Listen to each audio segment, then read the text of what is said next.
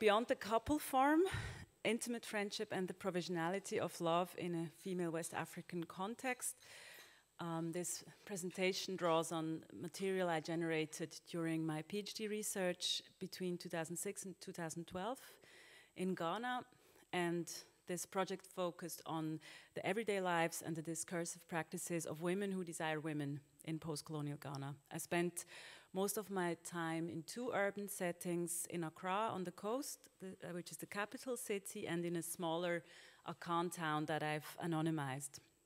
I also did some archival research, but mostly my core data consists of um, ethnographic field notes and of 60 interviews with um, about 40 working class women. And the interviews were held in English, in Akan Twi or in Ga, and most of them were jointly conducted with my long-standing friend Josephine Akbenosan, who became my research associate.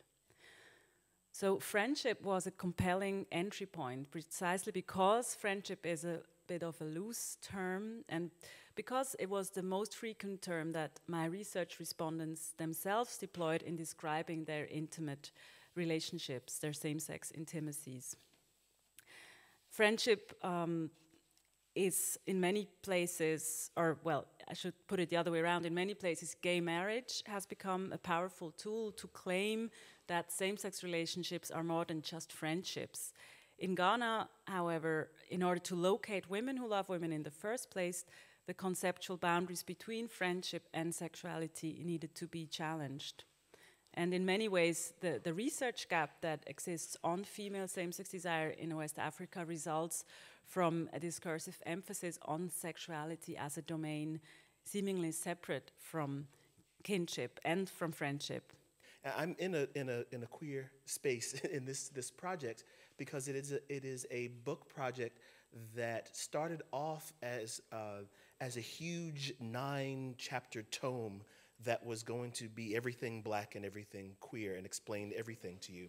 Uh, and uh, as I sat down to actually uh, think about what I had collected over three continents and eight different countries and three and a half years, it be, what became most clear was that I had not even uh, scratched the surface.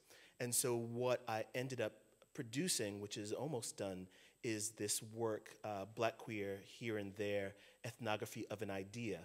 And in this project, I'm trying to think through the idea of black queer um, and think about uh, each constituent that is black and queer and also the ways that they come together or, or the ways that they do not come together and the ways, and I think that, uh, that some of what, what Serena uh, talked about points to that, is the ways that as researchers and as friends and as humanitarians and people who are, who are on uh, Facebook or uh, or Orkut or, or something having sex with someone else in another country through our, um, or your uh, uh, uh, computer screens, um, that we also bring our own ideas of what those constituents are and we, we create them together.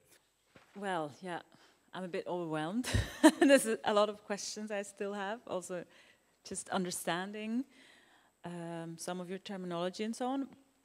But I, I liked the fact that you spoke about Nairobi and about another African context, class context. I was speaking about working class women's or working poor women's um, worlds, and I like that um, that opened the space. Because, as you said, the difficulty of talking about um, others without being nostalgic or romanticizing, or that's something I constantly struggle with.